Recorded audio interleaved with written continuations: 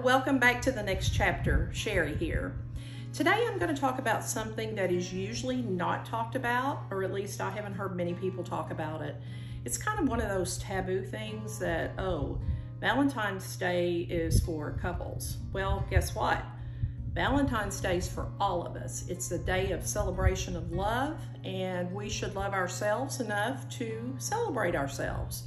So I have come up with several ways that you can celebrate you on Valentine's Day. Whether you are in a relationship, you are by yourself, um, no matter the circumstance, you can celebrate you. Some of these ways involve spending money, others do not cost anything at all.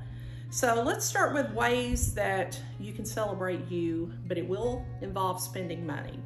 First thing is if you like flowers, send yourself some flowers or go pick out flowers.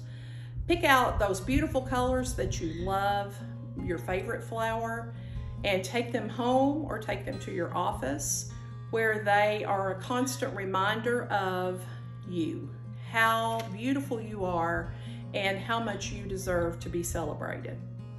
And if you want a long-term solution, because we, as we know, flowers do not last a long time, buy yourself a house plant. I love my house plants. They're, um, they're a hobby of mine, as you will see later on in my videos.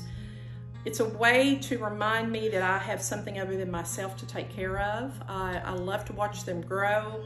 And by buying house plants, this is something that you can take care of and will be a much longer reminder of how special you truly are. Number two, get yourself an art piece. And this can involve your favorite type of art. Mine, for example, would be paintings or portraits, uh, photographs. I love photographs. And I love to buy things that remind me of a special time in my life, um, special places I've visited, people I've seen. So um, I would, if it were me, I would choose a place that I have been to that has really good memories. I also like, like vibrant, beautiful colors, so that would be important for me as well. So buying a piece of art is another way that you can celebrate you. Number three, treat yourself to a spa session. This is a really over-the-top way to celebrate you and to make yourself feel great. Whether you've been to a spa or not, it is a fabulous experience. You could just go for a facial or a massage, or you could have the royal treatment. That would be up to you. So pick your favorite spa and sign up, make an appointment, and go enjoy the experience. Number four, take yourself on a dinner date. I will say I have been single now for almost two years, so I am a pro at eating alone even when I go into the nicest restaurant or just a casual sit down restaurant, almost always I'm asked, Will someone be joining you? And my answer always is, No, I'm alone. I'm by myself. And I'm perfectly fine with that. I have become very comfortable with eating alone. And one thing I plan to do for Valentine's Day this year is to get myself all dressed up, look my best, and go out to one of my favorite places and have a wonderful dinner. So that's on my bucket list to do for Valentine's Day this year. And it's something you should consider too. Number five, buy yourself some jewelry. Jewelry is something that a lot of people buy on Valentine's Day. It's a very common thing. So who says you can't buy yourself some jewelry? Maybe it's a, a really pretty bracelet, necklace, earrings, or even a ring. And it doesn't have to be expensive jewelry. There's beautiful costume jewelry that if you take care of it, will last for a very long time. So treat yourself to a piece of jewelry if you so desire. Now I'm gonna get into ways that you can celebrate Valentine's Day and you without spending money. First thing is go on a beautiful walk.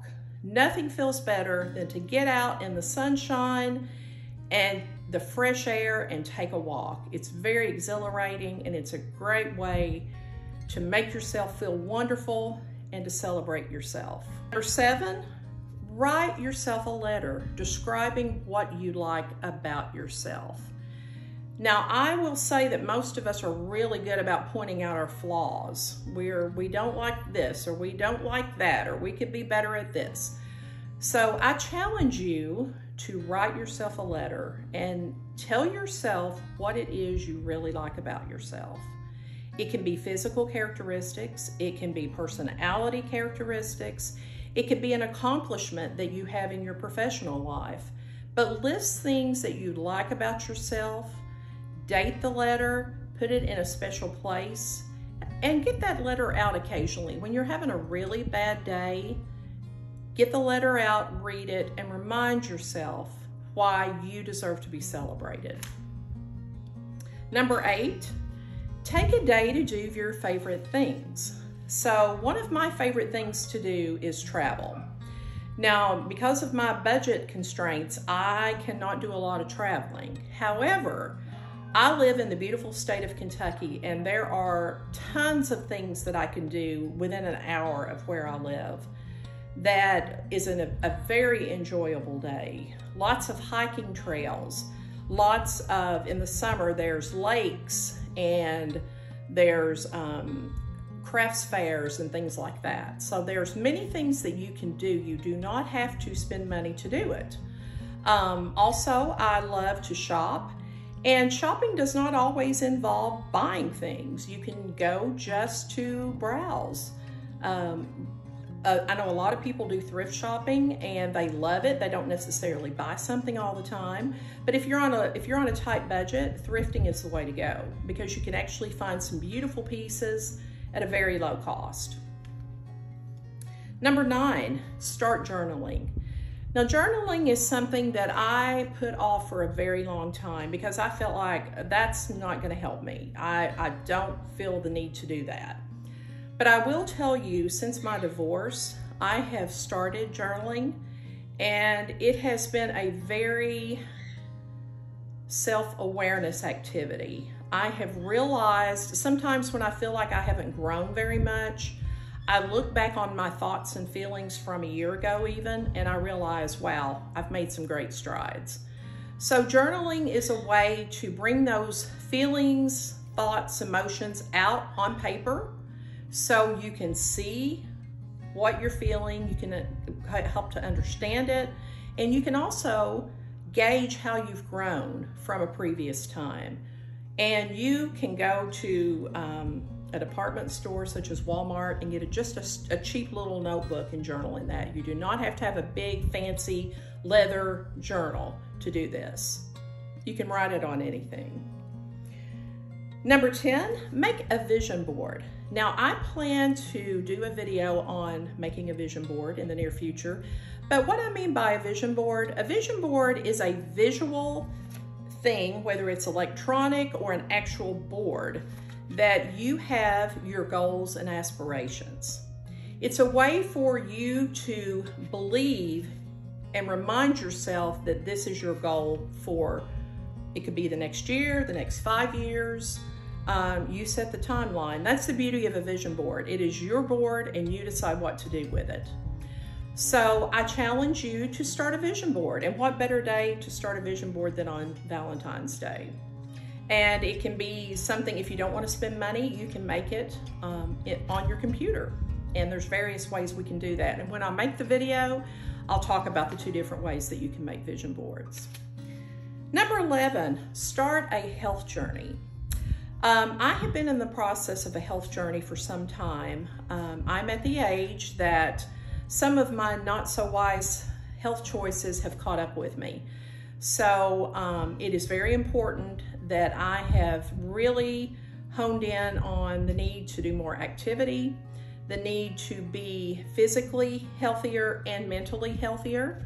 So that has involved such things as stress reduction, exercise, eating healthier, uh, socializing, all of those things are very important. And I will say one of the healthiest choices I have made is that I surround myself with people and pets that I thoroughly enjoy. My animals are the most therapeutic thing I have next to my family.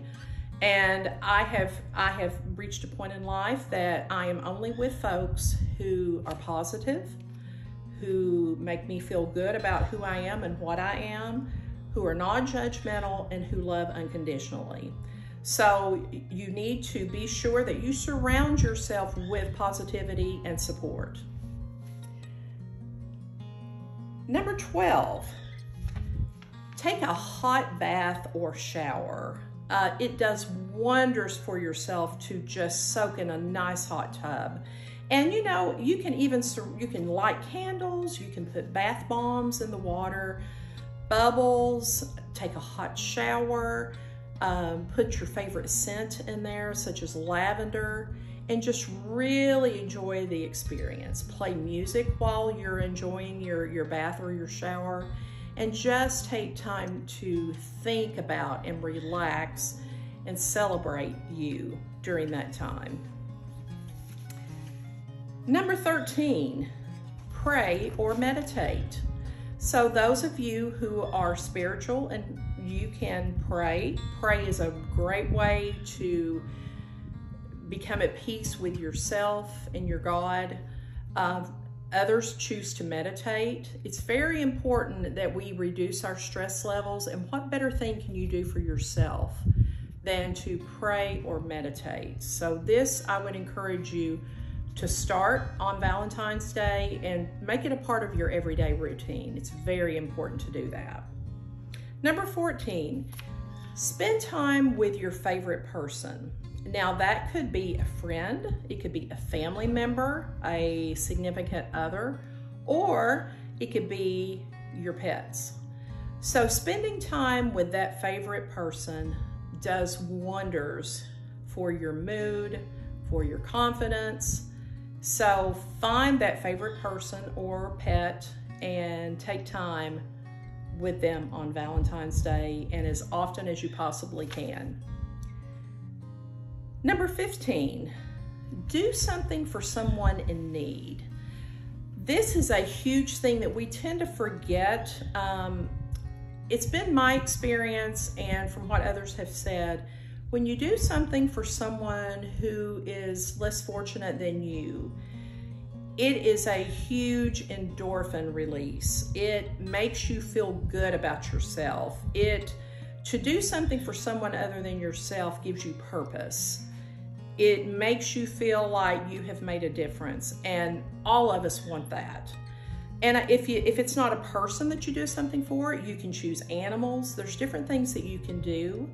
But find a person, a pet, um, an environmental concern and do something for someone other than yourself. It's a great way to celebrate you because you're helping someone or something that needs help. Number 16, make yourself a Valentine. Now, I, I think this sounds a little bit corny, a little bit cheesy, but I love making homemade Valentines. I've done that since I was a kid. And I still like to do it. I occasionally give my sons Valentines and they look at me like, oh, really, mom? Come on. But make yourself a Valentine. Go to the Dollar Tree and get some cheap little um, doilies and cutouts and that sort of thing. Make yourself a Valentine and maybe put it with that vase of flowers that you've bought for yourself. And just think of it every time you look at it, you think, yeah, that's, that's for me. I deserve it. And last but not least, cook yourself your favorite food. Or if you're not a cook or a baker, go get your favorite food. I personally love to cook. I like to bake actually better than cook. So I could see that I would probably bake my favorite dessert for Valentine's Day. Um, so think of, you know, how we as, especially as women, we tend to want to cook our spouse or our partner or our children their favorite meal on a special day. Who says we can't do it for ourselves? So cook yourself your favorite, cook or bake yourself your favorite food. So I hope this has given you some ideas of how to celebrate you on Valentine's Day. I hope that you in 2024 choose to take care of you and to love yourself. And what better day to start it than on Valentine's Day? Until next time, I will see you soon. Take care. Bye bye.